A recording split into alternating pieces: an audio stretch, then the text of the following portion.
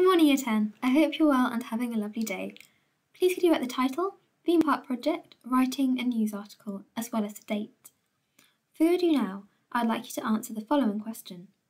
What are some ways you can make a newspaper headline eye-catching and interesting? Pause the video now to do that. Okay, so ways you can make a newspaper headline eye-catching and interesting. You can have a big, bold headline. You can use alliteration. You can have a short, snappy headline. You can use rhyming in your headline. You can use wordplay or puns. Letterplay. Have an especially somber or humorous um, heading. So a somber heading would be one that makes you feel very sad or um, very serious. You could use dynamic verbs. So if you didn't get these down, please could you write them down now. Okay, so what I'd like to do is identify what technique is being used in these headlines? Christmas shoppers stocking up. Which Halloween costume is for you? Pause the video briefly to jot down what you think the technique is. So it is of course puns. Um, a word in a sentence can have two or more meanings and if it's used um, in an amusing way, that is a pun. Okay, what technique is being used in these headlines? Manchester murder mystery solved. Sizzling summer to stay. Pause the video to jot it down. So of course it's alliteration. You've got multiple words starting with the same letter. What about these two? Let's have a garden party. Let us turn up the beat. And, well, this is Hawkwood. Pause the video to jot down what you think. It is letter play. Sometimes the writer will change a letter in a word to give it a double meaning, such as truck by lightning, if there was a truck that was struck by lightning, so it makes its point in a very clever way.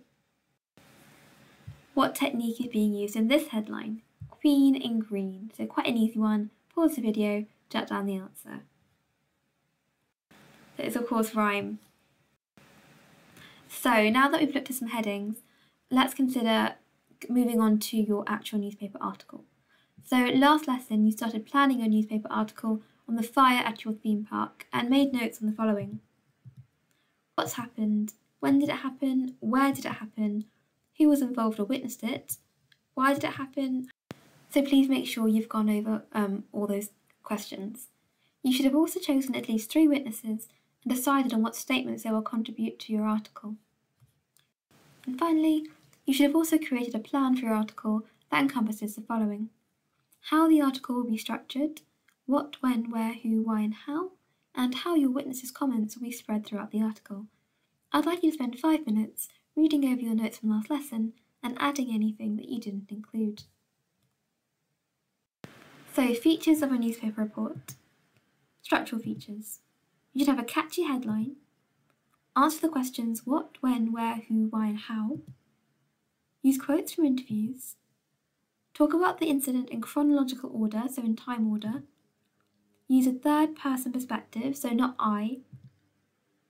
Have fairly straightforward sentence structures and a concluding paragraph. So remember, in terms of how you prioritize your information, the lead, the top of the article, is where the most important stuff goes. Say it right away, include the five W's who, what, where, why, when, and how, and hook your readers in. Then you go into the details. Include supporting details and facts in order of importance. This should include context, background, and quotes that help tell your story. And finally, the tail. This is the nice to have and fluff, but it's okay if your readers miss it. So, any other details, any kind of summary comment or reiteration goes in the tail. So, please do make a note of that now. Okay, I'd like you to read the attached newspaper articles and check them against the inverted triangle. You have 5 to 10 minutes to do this now.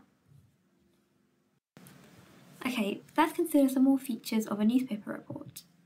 Language features. You want time connectives. You talk in the past tense.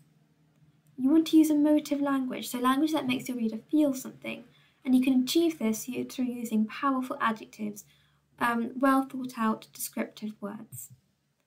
You want to include facts and opinions and use straightforward language so as not to confuse them. You want to keep it quite formal because this is a formal document. And use persuasive, persuasive techniques if you are arguing for something, but you're not here, you're just keeping it factual.